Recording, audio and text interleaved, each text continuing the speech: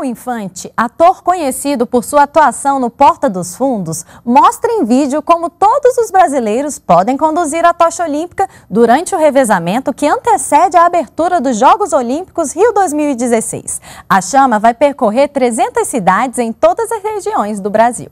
Rio de Janeiro está se preparando para em 2016 receber os Jogos Olímpicos. Mas será que as pessoas sabem que antes dos Jogos tem um monte de coisa acontecendo? Por exemplo, que tem revezamento da tocha olímpica. Será que eles sabem quem pode segurar a tocha? Será que a gente vai descobrir isso agora? Oi, qual é o seu nome? Edna. Sou o Igor. Gabriele. Fala, rapaz. Beleza, prazer.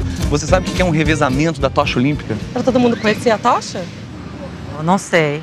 Mostra toda. É, blá blá blá blá blá. Uma união entre todos os estados. Além de promover a paz e união, ela avisa que os jogos estão chegando. Na Grécia Antiga não tinha internet, né? Não tinha telefone. Para comunicar as pessoas, por exemplo, que ia começar os jogos, olha que maneiro. Então a tocha ia passando em cada aldeia, cada cidade, cada pessoa, e todo mundo falava: Bruna, que os jogos vão começar, já desce daí. Gislene, acaba com esse almoço que os jogos vão começar a semana que vem. Era assim? Era assim. Que legal. Na Grécia tinha Gislene? Tinha Gislene.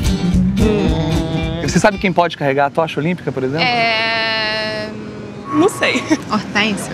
Você seria uma boa pessoa pra carregar. Meu marido. Por quê? Todo mundo. Todo mundo pode realmente. Só quem não pode é quem? Agora você Quem é que não pode? São os políticos. Você sabe como é que essas pessoas são escolhidas? Sorteio. Imagino, deve Eu te respondo! Ai. As pessoas são indicadas. Isso. Indicaria o Bruno. Ô, Bruno, ela te indicaria. Porque ele é meu amigo, ele me ensina muita coisa. Tem que ser uma pessoa correta, íntegra. Você me indicaria? Talvez, né? Quem sabe? Eu acho que você faz acontecer. Vou indicar ele porque eu acho que o Sérgio é uma pessoa que faz que acontece. Isso é muito maneiro. E podem te fez. indicar também. Com minha marca ali. Onde é que a gente pode já indicar os condutores? Quando, não sei não. Você já pode escrever agora. Opa, tamo aí, é só me chamar. Você faria isso? Faria, só Então, chamar. onde você se inscreve, pode indicar quem você quiser. Quanto você acha que custa pra sua mãe, por exemplo, carregar a tocha? 10 reais? Mais. 120 reais. Mais surpreendente. Ah, não sei. Zero reais. É 0,800 total. Ah, então é suave. Quanto custa pra assistir a chama olímpica? Não, tem que pagar. Adoro esse preço. Vocês estão felizes, gente? Muito, com isso? gente. E onde é que você acha que você pode assistir a tocha olímpica passando? É, não faço ideia. Provavelmente em Brasília. Aqui no Rio? Errou! Sei lá. Perto de você! É. A chama vem pra Brasília, que é a nossa capital, depois passa por mais de 300 cidades no país inteiro. Ah, eu moro em Sucuri de Cascavel. Muito provavelmente a tocha olímpica vai passar na sua cidade. Manaus, Espírito Santo, segura essa tocha, hein? Não é mais barato? Onde a chama estiver, onde ela vai dormir, vai ter uma festa na cidade. Aí agora a gente faz a dança da tocha que tá vindo. Vamos.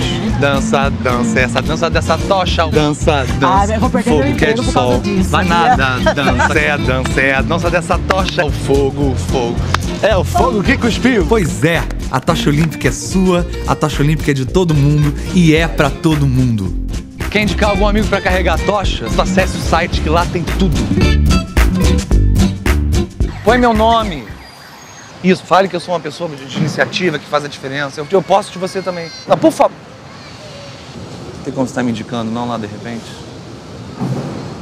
Fala bem de mim, eu tenho iniciativa.